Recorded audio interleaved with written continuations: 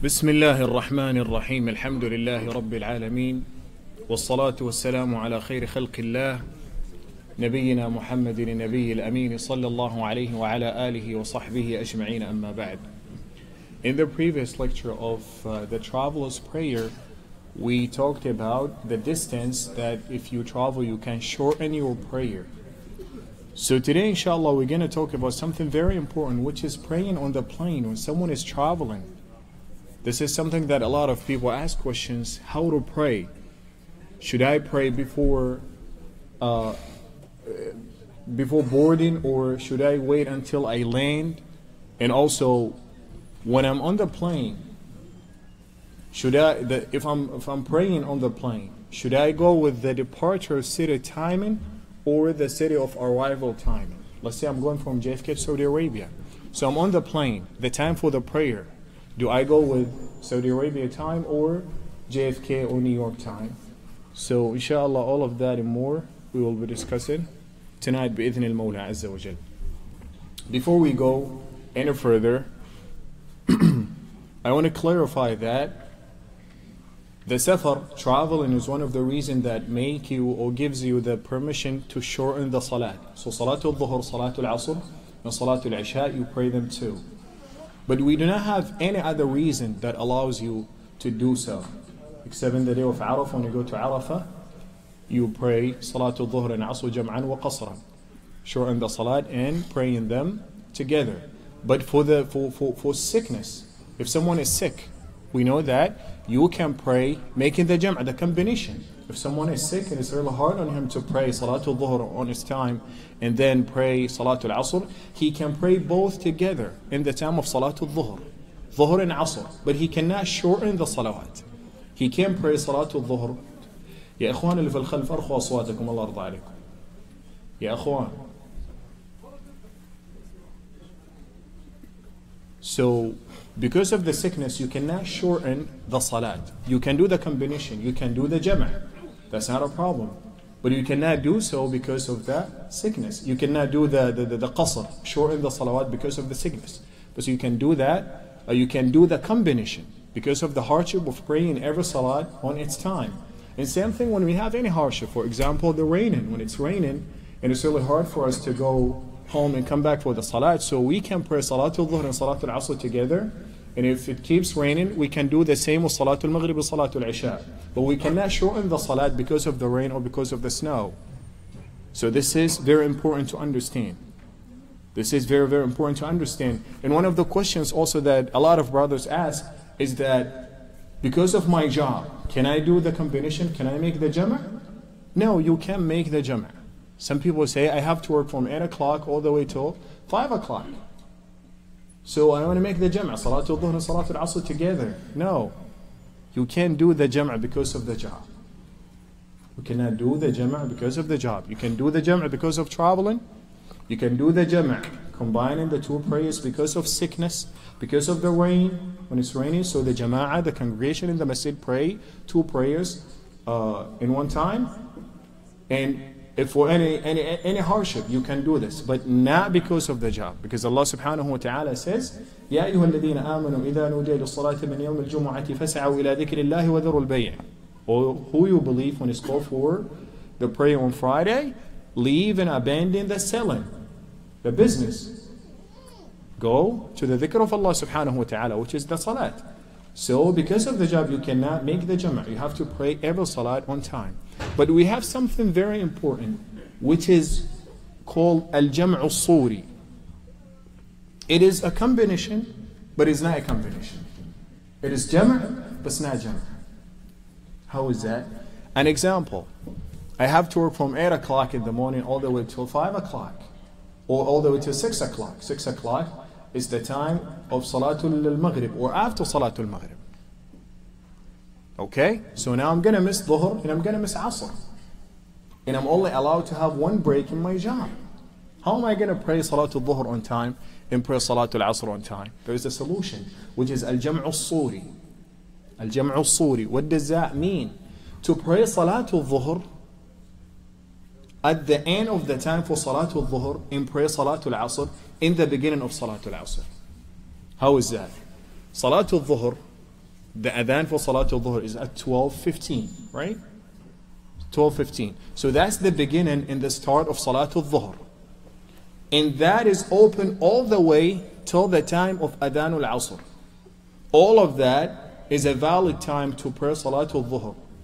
So Adhan al-Dhuhr is at 12.30, 12.15. And Salatul Asr is uh, 3.30? 3.30. So from 12.30 to 3.30 is the window that you can pray Salatul Dhuhr and you're going to be considered that you pray on time. We get this inshallah. So if you pray at 12.30, you're on time. 1.30 on time. 2.30 on time. But we have to pay attention to praying in congregation, missing the jama'ah. Someone could pray on time, but he prays at home. So he's sinful because of not praying in the congregation. So we have to uh, distinguish between praying in the jama'ah and praying on time. So whoever prays in this window of time, he is on time. Okay? So now you can have your break since Salatul Asr, the Adhan for Salatul Asr is at 3.30. You can have your break from 3.15 to 3.45. Okay? When you have the break, you're going to pray Salatul Dhuhr at 3.15 or 3.20. Still in the window of Salat, the time of Salatul Dhuhr. Then you wait for a little bit, maybe five minutes or less. Then they're going to call for Adhan al-Asr at 3.30. Okay? And then you're going to make the Iqamah and pray Salatul Asr. So this way, you have prayed Salatul Dhuhr on time, but at the end of the time for Salatul Dhuhr, and you pray Salatul Asr at the beginning of the time for Salatul Asr. So this is clear, inshallah. Salatul Dhuhr on time and Salatul Asr on time. It's not Jama' because you did not wait until the time for Salatul Asr is called and you pray Dhuhr and Asr together. That's Jama'. And also you did not pray Salatul Asr with the Dhuhr together. No. You pray Salatul Dhuhr before calling for Adhan al-Asr. Then you wait a little bit. After calling for Adhan al-Asr, you pray Salatul Asr. So every Salat is prayed on time. So that's what the scholars call, call al-Jam'u al-Suri. It is Jam' but it's not Jam' at the same time.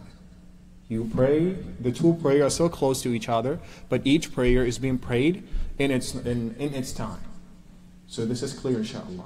جمع الصور يا إخواني هذه من الأسئلة الشائعة التي يسألها الناس عندما أكون في العمل هل أجمع الصلوات لأجل العمل؟ لا يجوز جمع الصلوات لأجل العمل. يجوز الجمع لأجل السفر ويجوز الجمع لأجل المرض ويجوز الجمع لأجل المطر أو لأجل الثلج أو لأجل البرد الشديد مع الريح. وهذا خاص بصلاة بالعشاءين المغرب والعشاء. يكون هناك برد شديد ورياح فيجوز الجمع. لكن العمل ليس مسوغ لأن نجمع الصلوات. لكن هناك شيء يسمى الجمع الصوري. هو جمع في الصورة وفي الحقيقة ليس بجمع. كيف؟ تصلي صلاة الظهر في آخر وقتها وصلاة العصر في أول وقتها. فلنفترض أن امرأ يعمل من الساعة الثامنة صباحا حتى الساعة الخامسة مساء. ويريد أن يصلي الظهر في وقته والعصر في وقته. كيف يصلي؟ أذان الظهر من الساعة الثانية عشرة والربع وأذان أذان الظهر الساعة الثانية عشرة والربع وأذان العصر الساعة الثالثة والنصف. فهذا هو وقت صلاة الظهر. من بعد أذان الظهر إلى قبل أذان العصر. هذا وقت صلاة العصر. فمن الممكن أن تأخذ فترة استراحة واحدة من الساعة الثالثة والربع إلى الساعة الثالثة وخمسة وأربعين دقيقة. أول ما تأخذ البريك أو الاستراحة تصلي الظهر مباشرة ثم تنتظر قليلا ويؤذن للعصر فتقيم وتصلي صلاة العصر. فبذلك أنت صليت الظهر في آخر وقتها وصليت العصر في أول وقتها. فهو جمع في الصورة لكنه ليس جمع في الحقيقة لأن كل صلاة أديت في وقتها. Yes.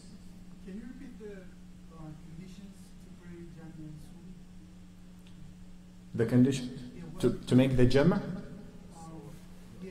al-jam' al-suri what I'm talking about is someone who uh, he can't pray on time because he can only have one break at his job. So some people what they do they don't pray. They have all of the prayers. When they go home they when they come home they pray them all. That's not acceptable. Every salat must be prayed on its time. So if you could have one break during your job in this way you pray dhuhr at the end of his time in Asr, in the beginning of the time for Salatul Asr. You know, and this is not something that I encourage you to do. As a Muslim, you are required to pray your prayer on time. But sometimes a lot of people ask me this question, which is we can't have two breaks and we're going to miss the salat. Or when we come home, we pray all of the salawat. That's not acceptable. The job is not a reason for you to miss the salat. You have to pray.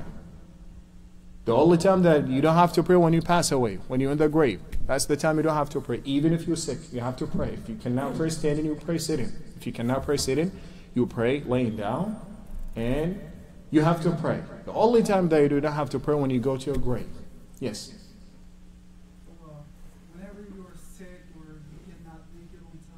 You can make the combination, but do not make the qasr shorten in the salat. So dhuhr 4, asr 4, all together in the time of al-dhuhr, or all, all together in the time of al-asr.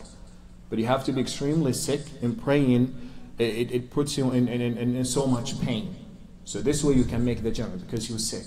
And also if it's raining or if it's uh, snowing or it's extremely cold with the wind. So we can make the jama and pray Salatul al-Maghrib and Isha together. Yes. فأبردوا يؤخر صلاة الظهر إلى آخر وقتها وهذا اللي قالوا قالوا العلماء إنه يكون جمع صوري لأنه بتصلي الظهر في آخر وقتها فهمت علي؟ أنت بتصلي الظهر قبل وقت العصر لماذا؟ لأن الشمس حارة وفي وقتهم ما كان في مكيفات وكذا فكانوا يصلون الظهر متأخرا فهذا يعني ينبغي وهذه سنة لابد أن تفعل في الحر لكن لابد أن تراعى مصالح الناس يعني. مثلا في بعض الأماكن يشق على الناس أن نصلي بهم الظهر متاخرا متأخرين فهم متعودون أن يصلوا في نفس الوقت. والحمد لله الآن يعني هناك مكيفات والأمر سهل. لكن عموما هذه سنة تتبع فإن كنا في مكان الحر شديد نؤخر صلاة الظهر إلى آخر وقتها. النبي صلى الله عليه وسلم كان يبرد في صلاة الظهر بمعنى أنه كان يصلي صلاة الظهر في آخر وقتها وليس في أول وقتها. Okay, something also to understand, because in the previous class when I talk about uh, shortening the salat, the qasr, I didn't talk about the jama'. So for someone who is traveling, he can do two things. Shortening the salat any, any prayer that consists of four rak'at, you make it two, and at the same time praying two prayers at one time. And that in the case of Salatul Dhuhr and Asr and also Salatul Maghrib and Isha together. So if someone is traveling, he can pray Salatul Dhuhr and Salatul Asr once he's called for, for Adhan al Dhuhr. So we have Jam' Taqdeem in Jam' Ta'khir. Jam' Taqdeem and Jam' Ta'khir. What does that mean? Jam' Taqdeem, that we pray Salatul Asr and Salatul Dhuhr in the time of Salatul Dhuhr. It's called for adhan al-dhuhr now. So I'm going to make the iqamah and pray salatul dhuhr right after salatul asr. And also if I cannot pray for any reason, I'm driving and I'm in an area that, I, that, that, that I can't stop and pray or I don't want to pray in this area, so I can wait till the time for salatul asr and pray salatul dhuhr and salatul asr together in the time of salatul asr. Jam' ta'khir. Making that late combination. And I can do the same for Salatul Maghrib. I'm traveling. I can pray Salatul Maghrib and Salatul Isha together when it's called for Adhanul Maghrib.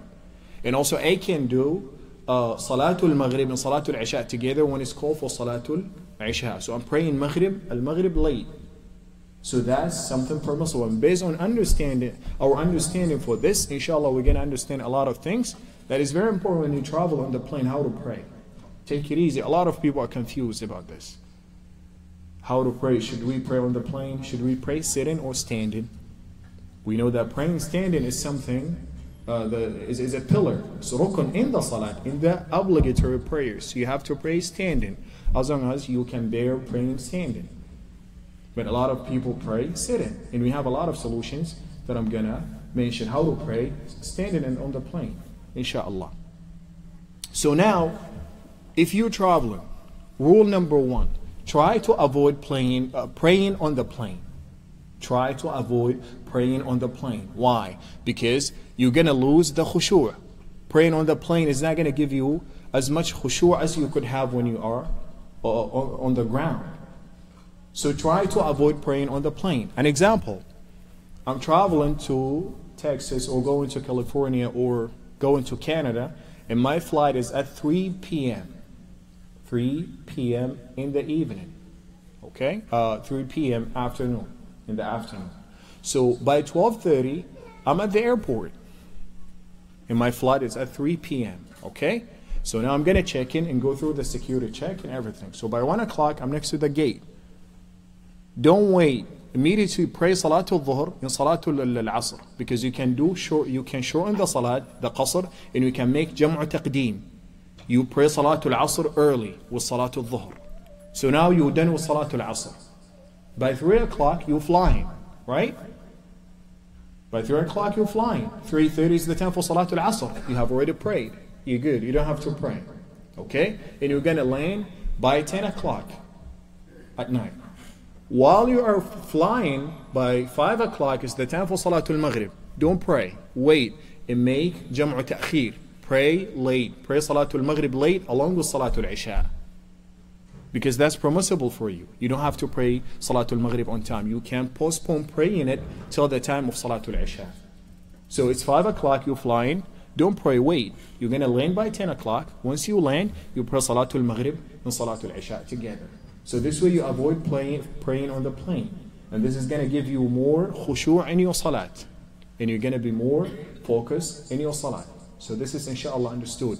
And something that we have to understand also, a lot of people think that when they uh, have to pray, they have to pray in a masjid, in a mosque. So when I'm at the airport, I can't pray anywhere. I have to go to that uh, uh, area that made as masjid or a prayer hall. You can pray anywhere. The Prophet Muhammad sallallahu alaihi wasallam says in Sahih al-Imam al-Bukhari, وجعلت لي الأرض مسجدا وطهورا فأيما رجل من أمتي أدركته الصلاة فليصلي The earth is made as masjid and clean and pure for me. So any one of my ummah, when the salat is obligatory upon him, he should pray anywhere, anywhere, on the grass, on the street, anywhere you can pray. The earth is a masjid for you as long as it's clean. There's no any najasa. You can't see any najasa on the ground and you cannot smell it. So that place is pure. You can pray. And you do not even have to have the sujjada, the, the, the praying mark. Even if you do not have it. You travel, you can pull uh, over on the grass. It's clean. There's no any dirt. There's no any najasa. You cannot smell it. You cannot see it. You can pray on the, on the grass. You don't need a sujjada. You don't need a praying mark. This is something that we must understand. Yes?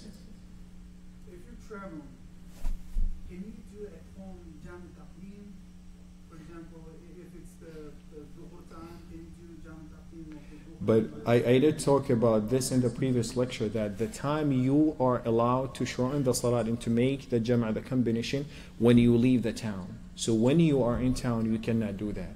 So you have to start your journey for that to be permissible for you. I did talk about that in the previous lecture. So this is very important to understand. I met someone, I was in Istanbul, so I had a long transit, so I'm going through the city to have a, to have a, a, a tour. So I met a brother from Indonesia. He missed his flight. I had a good time with him during the tour. So I asked him what happened. He said he was coming from Germany going to Indonesia and he was transiting through uh, Istanbul. So he has like an hour or an hour and a half uh, uh, transit time. So it is the time to pray. He asked people, Where is the masjid? They told him you have to go through the immigration and you go and find the masjid and pray but he has a very short time. He was supposed to stay in the transit area and go to the gate and catch his next flight. But he goes through the immigration and he went to the masjid, prayed at the masjid, and then he has to come back and go through immigration again to go back to the transit area. And he missed his flight. And he had to pay $500. Well, it was simple. He can pray anywhere. I told you, you can pray anywhere. You don't have to go to the masjid. Just pray in the transit area. No, at the airport, the musalla is you have to go through the immigration. To, yeah, to find the musalla. But he can pray anywhere. Find out the direction of the Qibla and pray. Simple. So this is very important to understand. So he lost $500 when I understand this simple mas'ala. He can pray anywhere. It doesn't have to be at the masjid in the airport. And he misses flight. So this is very important to understand. It is not necessarily to be at the masjid of the airport. Do your best to pray there. Why? Because it's a good environment and it's a mosque and you're going to be more comfortable and it's going to be closed and uh, people are not watching you and you're not going to be distracted by people passing by you. But for any reason you uh, in a, uh, you in uh, an airport that they do not have a masjid.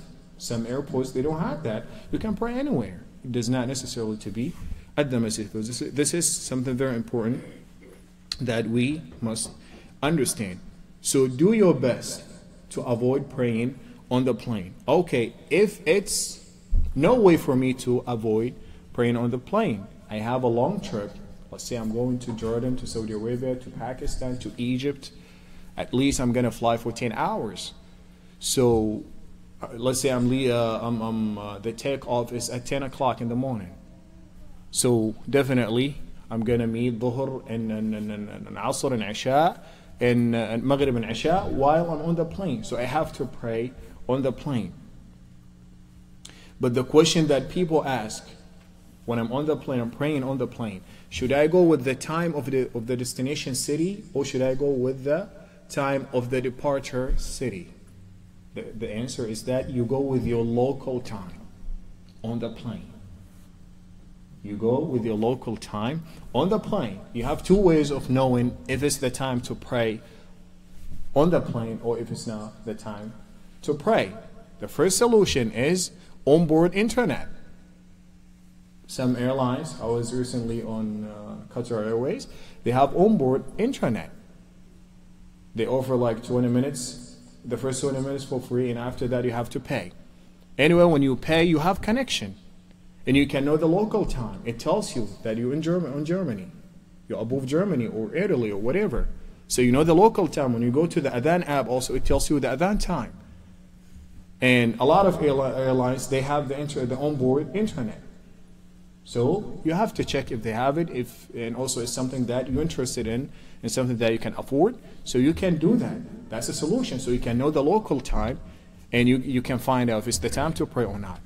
And also, you can, even if you do not have that, you don't want to have the internet, you cannot afford it, or you don't have a smartphone, you have a way of knowing the time for the prayer. Um, uh, want to find out when is the time for Salatul Fajr. It's dark. How am I to know? Whenever I see the dawn, the Fajr, whenever I see the light, just look at the window. I don't have to care about my destination time or the, the US time, my, my local time, the plane. So you can just look through the window if you start seeing the light, so meaning that the day is coming out. So that's the time for Salatul Fajr. You just pray. If for any reason you slept, you did not wake up till the sunset, that's okay. Because even the Prophet Muhammad he was traveling once and he slept. And all of the Sahaba slept and nobody wake up. And the first person who woke up was Bilal. And the sunset was already there. But don't do it intentionally, sleep and not wake up for Salatul Fajr. If it happens, you slept and you did not wake up till the sunset, so you're good. And also for Salatul Dhuhr, you can use your brain. For example, uh, my flight, uh, the departure is at 10 o'clock. Okay, we flying. So definitely after five hours, I'm either in the time for Salatul Asr in my local uh, area, or I'm in the time for Salatul Dhuhr, and I can do the combination, I can do the Jama. So I'm good. And also, if you want to know the time for Salatul Maghrib, it's going to be day, a day. And then all of the time is going to start getting dark. Whenever it's dark, that's the time for Salatul Maghrib. You just put Salatul Maghrib and Salatul Isha together. And also, one of the questions that people ask is that how can I know the direction of the Qibla? How can I know the direction of the Qibla? A lot of Muslim airlines, they provide this. Saudi Airlines and Qatar Airways also. And I think most of the Muslim era, they provide this, tijahul qibla, the, the, the direction of the qibla on the map, so you can know the direction and pray. And also at the same time, if you have the internet, onboard internet, you can use your phone to figure out where the qibla is. And also by knowing the direction of the flight. If I'm flying to J from JFK to Saudi Arabia, so it's going to the direction of the qibla. So meaning that this is the plane, this is the front, and this is the back of the plane. So this is the direction of the Qibla because I'm going to the direction of uh, Saudi Arabia. If I'm coming back from Saudi Arabia to JFK, so I'm going to pray to the rear of the plane. So you just have to use the map, and they have the map. You can do your best to find out where is the Qibla. Do your best to find out where is the Qibla, and then you can pray. Okay, one of the very important questions, which is uh, how should I pray? Sitting or standing?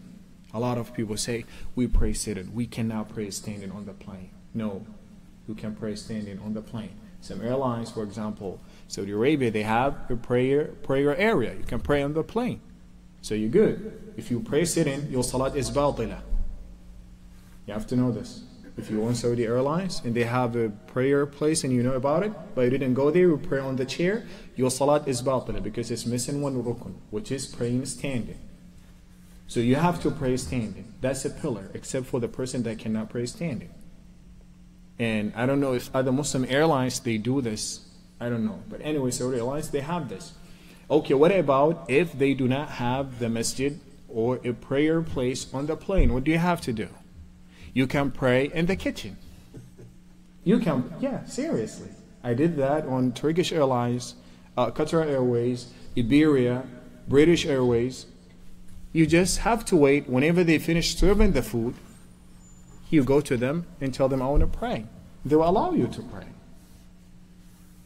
They will allow you to pray. Pray in the kitchen. You have to wait for them till they finish serving the food. Just go to them and talk to them. I want to pray. They will welcome you. And I was a little scared when I tried it on Iberia. It's a Spanish Airways, it's Muslim Airways, so I was thinking that they're going to refuse it. They were friendly. They said, It's okay, pray. And I prayed, standing. So go to the kitchen uh, after they finish serving the food and ask them, and inshallah, they will allow you to pray standing in this way. You are praying uh, standing, and this is a pillar in the salat. So this is very important to know. And as we plan for our travel, so we have to plan for our prayer. Whenever you're traveling, you're going to plan what you're going to take, what you're going to do. So the first thing you have to do is to plan how you're going to pray. It's important. You have to plan how you're going to pray because we have to pray as long as we are alive. The only time we cannot pray when we pass away. So this is something very important to take in consideration.